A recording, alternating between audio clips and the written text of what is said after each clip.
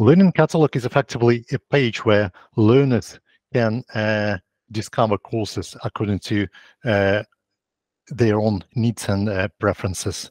So basically, uh, this is a page containing the category selector and the uh, search bar, and uh, you, this effectively you know, enhance uh, self-directed learning uh, experience for the user. So someone could uh, navigate through the uh, uh, categories, for example, could go through uh, workplace, Moodle Academy. there are several tiers and that could, could be configured as well, how many of those drop, drop downs level we can see. So for example, if we get to the Moodle Academy, uh, we see all the courses listed here. Uh, on the left-hand side, there is a selection of the subcategories, uh, tags. There, is, there will be more filters there available uh, soon as well. The uh, user has uh, ability to select a particular subcategory here, filter by that, for example, or filter by particular tag and narrow down the uh, list of uh, courses that he or she wants to select for particular needs.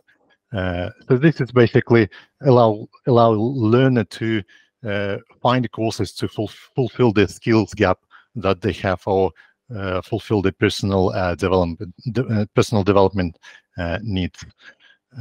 search so it's clear here the, the you could search like uh, Moodle.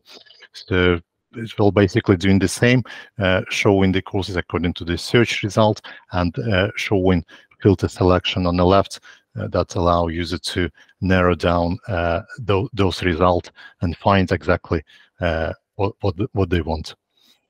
Uh, so yeah, that's basically our ongoing work. It's going to be a little bit more smoother because we want to introduce this uh, single uh, page application type things when when uh, so th those uh, filtering and uh, any interaction with this page would not require the reload of the page so the the content will just appear the nice and smooth way kind of not breaking the flow experience yeah good for micro learning as well. That's kind of new new thing when uh, some sites might have uh, lots of small tiny courses uh, around. Uh, they need a way to navigate through them to course catalog fulfill that requirement. That's it for me.